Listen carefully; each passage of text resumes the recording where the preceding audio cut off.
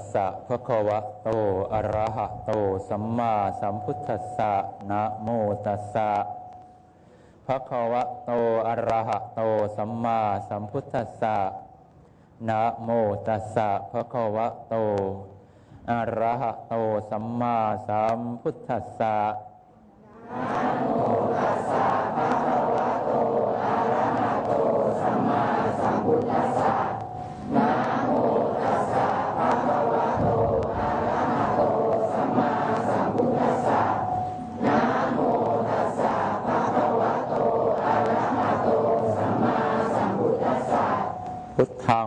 ระนังคัจฉามิพุทธังสระนังคัจฉามิธรรมังสระนังคัจฉามิธรรมังสระนังคัจฉามิสังฆังสระนังคัจฉามิสังฆังสระนังคัจฉามิทุติยมปิพุทธังสระนังคัจฉามิทุติยมปิพุทธังสระนังคัจฉามิทุติยมปิ ธรรมังสระนังคัจฉามิทุติยมปิธรรมังสระนังคัจฉามิทุติยมปิสังฆังสระนังคัจฉามิทุติยมปิสังฆังสระนังคัจฉามิตติยมปิพุทธังสระนังคัจฉามิตติยมปิพุทธังสระนังคัจฉามิ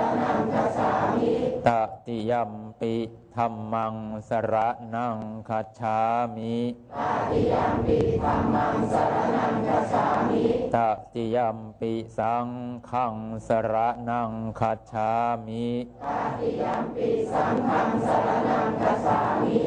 ปานาติปาตาเวระมณีสิกขาปะทังสมาธิยามิปานาติปาตาเวระมณีสิกขาปะทังสมาธิยามิอทินนาทานา เวระมณีสิกขาปะทังสมาธิยามิอทินนาทานา เวระมณีสิกขาปะทังสมาธิยามิกาเมสุมิชาจารา เวระมณีสิกขาปะทังสมาธิยามิกาเมสุมิชาจาราเว ระมณีสิกขาปะทังสมาธิยามิมุสางวาทาเวระมณีสิกขาปะทังสมาธิยามิมุสาวาทาเวระมณีสิกขาปะทังสมาธิยามิ สุราเมรยะมัชฌะปะมาสถานา เวระมณีสิกขาปะทังสมาธิยามิสุราเมรยามัชฌะปะมาสถานา เวระมณีสิกขา อิมานิปัญจสิกขาปทานิสีเลนะสุขติงยันติสีเลนะโภคสัมปทา สีเลนะนิพุติงยันติตัสมาสีลังวิโสนทะเยเออก็ขอให้ทุกคนที่มากันพร้อมเพรียงกัน ในวันนี้นะ วันนี้เป็นวันพิเศษ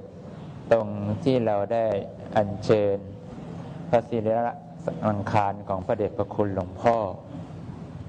เป็นมงคลอย่างยิ่งในชีวิตของพวกคุณทั้งหลายนะ การบูชาครูวันนี้ก็ถือว่าเป็นครั้งครั้งพิเศษหน่อย แล้วก็จะมีครั้งเดียวที่เราจะทำแบบนี้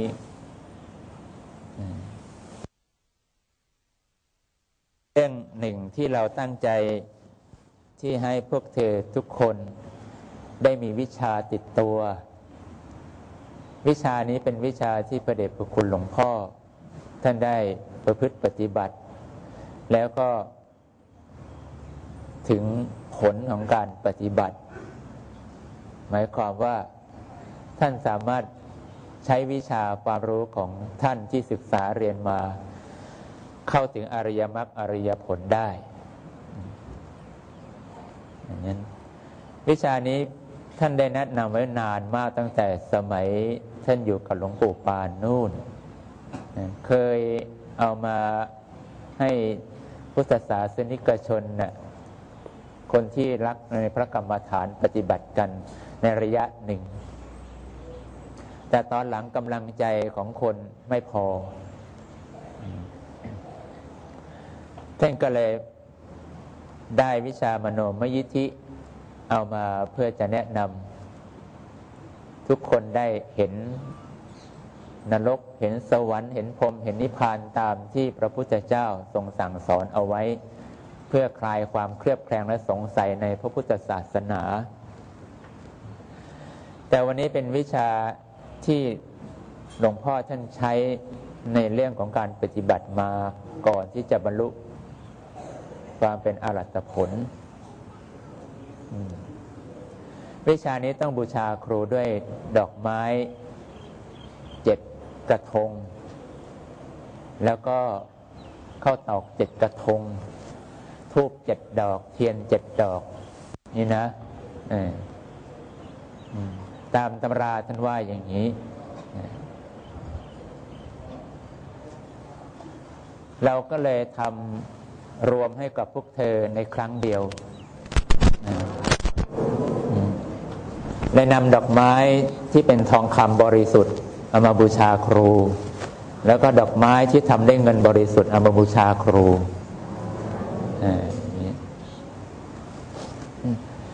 แล้วก็มีพระที่หลวงพ่อใช้สำหรับบูชาครู เมื่อสมัยท่านมีชีวิตอยู่ ก็มาเป็นองค์ประธานในการบูชาครูคราวนี้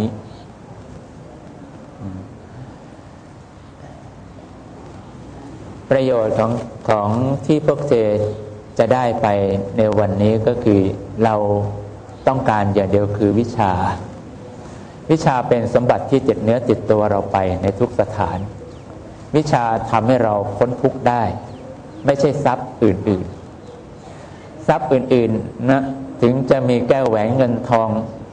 มากมายดุดดังพระเจ้าจักรพรรดิปกครองโลก ก็ไม่ใช่ว่าจะทำให้พระเจ้าจักรพรรดินั้นพ้นจากความทุกข์ได้เลย แต่วิชาที่พระพุทธเจ้าทรงสอนและที่ครูบาอาจารย์สืบๆกันมา ท่านได้ประพฤติปฏิบัติ พิสูจน์เห็นแล้วว่าสิ่งที่พระพุทธเจ้าตรัสเป็นจริง แล้วองค์ของครูของเราเองท่านก็ทำแจ้งแล้ว จึงแนะนำให้พวกเราทุกคนเนี่ยผู้มีศรัทธา พากันเพียรพยายามที่จะประพฤติปฏิบัติให้ได้วิชา เพราะวิชาจะติดเนื้อติดตัวของเธอไป เหมือนกับว่าฝังเข้าไปในกระดูกด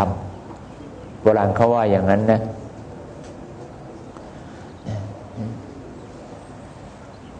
ก็เลยถือโอกาสวันนี้เป็นวันเสาร์ขึ้นห้าค่ำปกติเราไหว้ครูทุกครั้งที่ตรงกับวันเสาร์ขึ้นห้าค่ำแต่วันนี้พิเศษตรงที่ว่าได้ได้อัญเชิญพระเดชพระคุณหลวงพ่อกลับประทับที่พระวิหารร้อยเมตรแล้วว่าเป็นเป็นสิ่งที่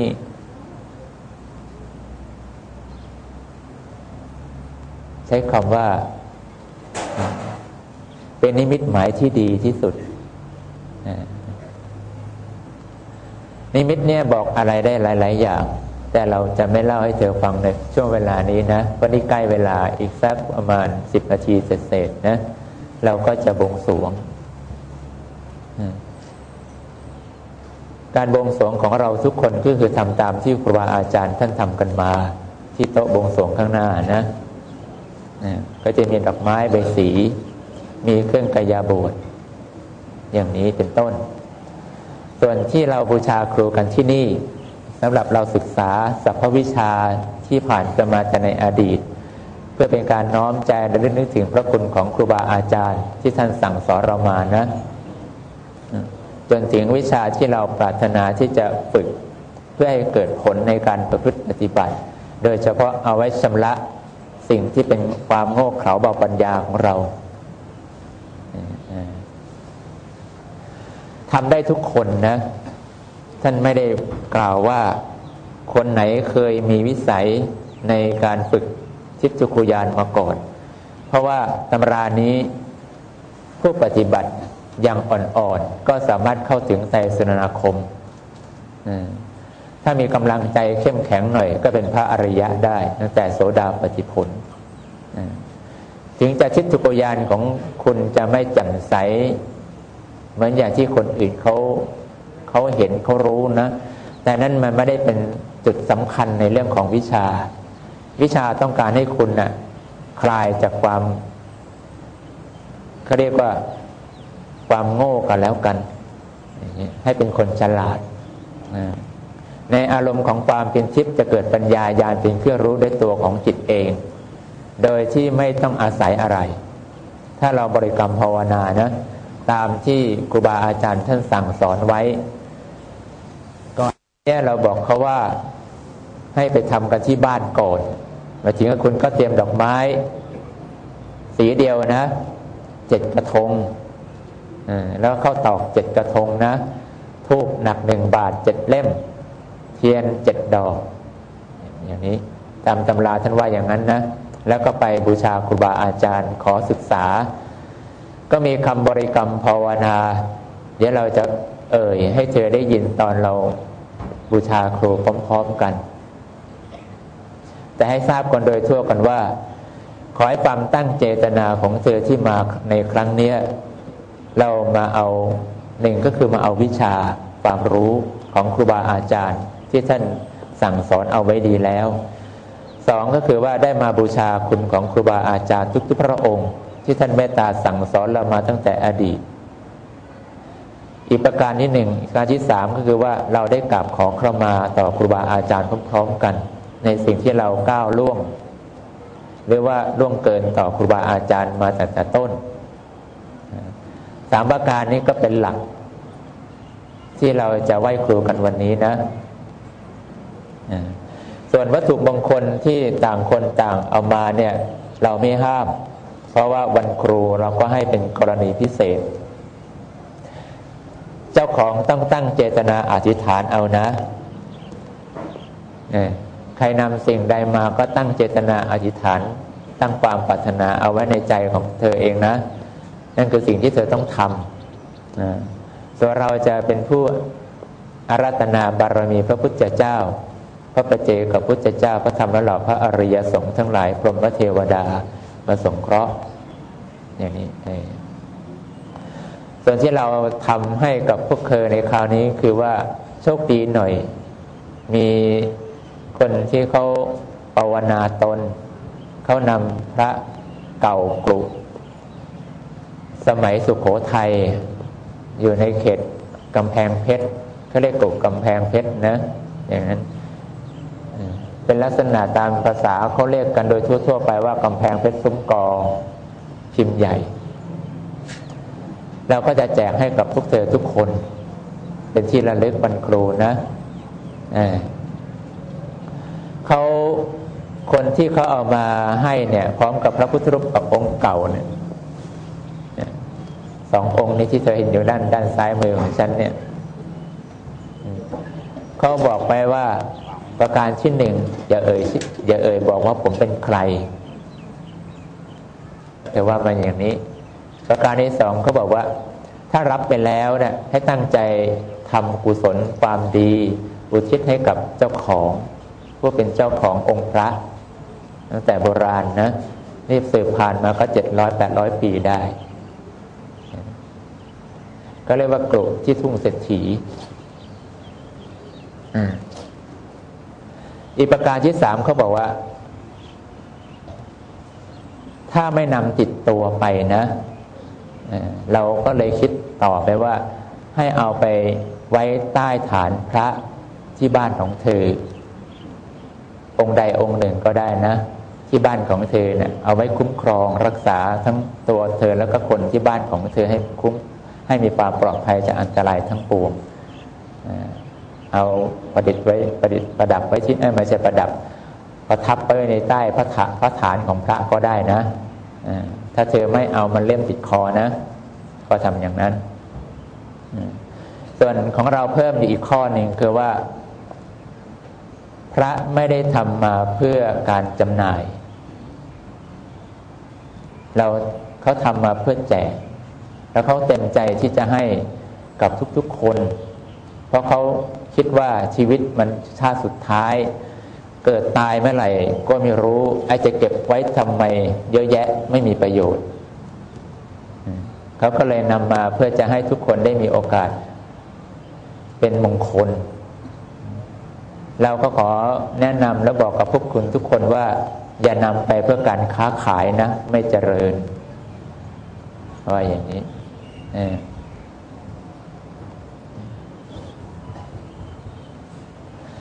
ส่วนที่เราทำตั้งใจทำจริง ๆ ก็คือล็อกเก็ตหลวงปู่หลวงพ่อ แล้วเราก็บรรจุตะกุดทองคำเอาไว้ข้างใน ที่ทำเนี่ยเราต้องการอาบูชาครูบาอาจารย์ทั้งสององค์ ที่เมตตาสั่งสอนพวกเรากันมา ใจคือไม่อยากให้เราลืมลืมทั้งหลวงปู่ ลืมทั้งหลวงพ่อ ใจเราคิดอย่างนั้นนะ เราจึงทำ จะให้เธอได้เห็นท่านเป็นอนุสติสำหรับเราทุกคนที่เป็นลูกหลานพระเดชพระคุณหลวงปู่หลวงพ่อ มาแต่ในแต่ก่อนแต่ไรจนถึงปัจจุบันนี้นะ ก็อยากให้มีมีภาพของท่านอยู่กับตัวเราอะอันนั้นแล้วก็ทำไว้แจกเมื่อตอนเวลาอันสมควรนะ แต่วันนี้แจกกลุ่มเอาของกลุ่มมาแจกให้ ก็ไปเอาว่าเวลาของการเข้าพิธีเพื่อจะบูชาครูกงใกล้เข้ามาถึงแล้ว เธอทุกคนก็สำรวมจิตใจให้มันแน่วแน่นะว่ามันเป็นเวลาครั้งเดียว เราไม่ได้ทำแบบนี้บ่อยๆ เราเอาของที่ทำได้ก็คือทองคำเอามาเป็นดอกไม้ ก็หวังว่าสิ่งเหล่านี้จะเป็นสิ่งบูชาต่อวิชาของครูบาอาจารย์ เท่าที่มนุษย์จะพึงหาของบริสุทธิ์มาบูชาได้ ในความตั้งใจของเราเองก็ประสงค์ต้องการให้พวกเธอได้วิชานี้ไปจริง ๆ จึงต้องบอกทุกทุกคุณทุกคนว่าสำรวมใจของคุณให้สงบนะ เธอสมาทานศีลแล้วก็สำรวมใจว่าเรามีพระพุทธเจ้าเป็นที่พึ่ง มีพระธรรมคำสั่งสอนของพระองค์เป็นที่พึ่ง มีพระอริยสงฆ์ทั้งหลายเป็นที่พึ่งสินสิกขาบทที่เราตั้งใจกำหนดสมาทานก็คือสินห้าประการเป็นอย่างน้อย ก็ให้ครองใจของเราไว้ตอนนี้ว่าบัดนี้เราไม่คิดเบียดเบียนต่อบุคคลผู้ใด เราไม่คิดประทุษร้ายใคร เราไม่ปรารถนาจะทำให้คนอื่นเดือดร้อน ไม่ว่าทางกายวาจาหรือว่าทางใจ ในระหว่างที่หลวงพ่อท่านเมตตา เอ่ยนำพาให้เราได้ได้ระลึกนึกถึงเทวดาโดยเฉพาะท่านลงเท้าจาสุมรัตทั้งสี่แล้วก็เทวดาทั้งหลายเนี่ย เธอก็บริกรรมภาวนาพุทโธก็ได้นะ หรือ ภาวนาบทใดที่ปาลบถึงองค์เสด็จพระสัมมาสัมพุทธเจ้า ที่เธอคุ้นเคยมาอย่างไรก็ทำได้ เพื่อให้ดึงจิตของเธอไม่ให้มันวอกแวกกระสับกระส่ายเวลาเราเอ่ยบูชาครู เธอก็น้อมจิตตามข้างในใจของเธอเอานะ ไม่ต้องเปล่งเสียงตามเรานะก็มีแค่นี้เป็นข้อข้อที่เราจะทำกัน ในช่วงเวลานี้กันนะ ทุกอย่างก็พร้อม พวกคุณพร้อมไหมอ่าไป